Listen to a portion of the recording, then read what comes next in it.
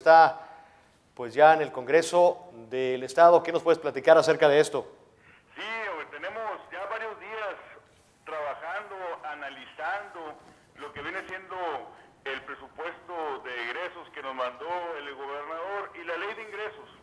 Estamos, inclusive el día de hoy estuvimos en plática con los funcionarios de la Secretaría de Hacienda, porque estamos convencidos los diputados del PRI en que debemos de contar con un presupuesto un presupuesto muy bueno para el 2015, un presupuesto que beneficie a las familias de Nogales en especial, y es el trabajo que estamos realizando, buscando que, cuente con el recurso suficiente la administración municipal que encabeza a nuestro amigo Ramón Guzmán para, para enfrentar las necesidades que tenemos en nuestra ciudad.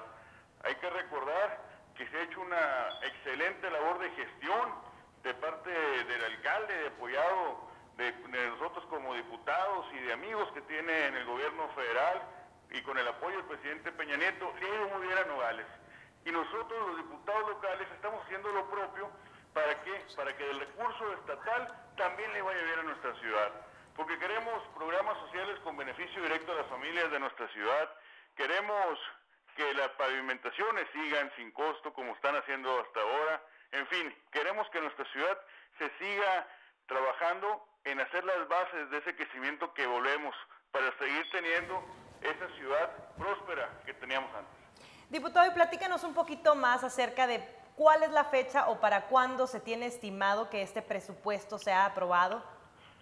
Pues mira, estamos pensando, eh, después de los análisis que estamos viendo, que sea para mediados del mes de diciembre cuando ya podamos decirle a, a los sonorenses que como Poder Legislativo cumplimos con un presupuesto. Hay que recordar algo. Hace unos años, para ser específicos, en el 2012, Sonora no contó con un presupuesto. Y eso nos llevó a, que el gobernador manejara lo que es la reconducción presupuestal. Cosa que no debemos de permitir nosotros. ¿Por qué? Porque no podemos darle un golpe a las finanzas estatales al no darle un presupuesto a Sonora. Es por eso que hay un compromiso de las diferentes fracciones eh, que, estamos en el Congreso del Estado para que contemos con ese presupuesto. Ya nos mandaron el presupuesto hace unas semanas, inclusive, inclusive me tocó a mí recibirlo como presidente del Congreso. Nos hemos dado la tarea de trabajar nosotros en analizarlo, en encontrar puntos y las comas interesantes, empezar a dialogar con los demás eh, funcionarios del, gobierno del Estado y demás diputados de, otras, de otros partidos políticos, buscando la manera de poder etiquetar en el caso, en el caso de los diputados locales de Nogales, trabajar y etiquetarle recurso a nuestra ciudad. Y así estamos haciendo con otros municipios. ¿Por qué? Porque es un trabajo en equipo, es una, es una decisión que tomaremos los diputados, queremos que salga por unanimidad, queremos que salga en tiempo y forma como marca la ley, que sería a, mediados del mes de diciembre. Y lo más importante, queremos que sea un presupuesto con beneficio a las familias de Sonora. ¿Para cuánto aproximadamente es lo que asciende el presupuesto? ¿Cuáles son los rubros más importantes a los que se les puede dar pues, mayor cabida o mayor impulso en este presupuesto? Mira, estamos hablando de que son poco menos de 50 mil millones de pesos. Es histórico este presupuesto. Estamos hablando de que en obra pública viene recurso importante, que es un recurso casi, casi el 100% del recurso en la obra pública. Estamos hablando de que es recurso federal. Es dinero que va a mandar el gobierno de Enrique Peña Nieto al Estado de Sonora con un compromiso para, que, para seguir construyendo ese Sonora que todos queremos ver. Y lo más importante es que no va a haber nuevos impuestos, no hay letras chiquitas, no, se, no va a haber una sorpresa como fue la tenencia hace unos años.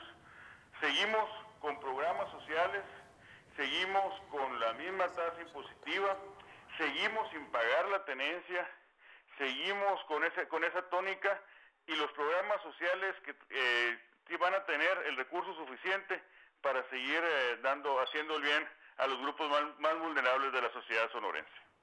Pues muy bien, diputado, muchísimas gracias por esta información. Vamos a estar al pendiente de cuál es el, desenlace de todo esto, a ver eh, cuándo se aprueba, a ver si todo termina como pues es lo planeado para que usted eh, pues tiene las puertas abiertas aquí para que nos comente todos los detalles acerca de la aprobación de este presupuesto 2015.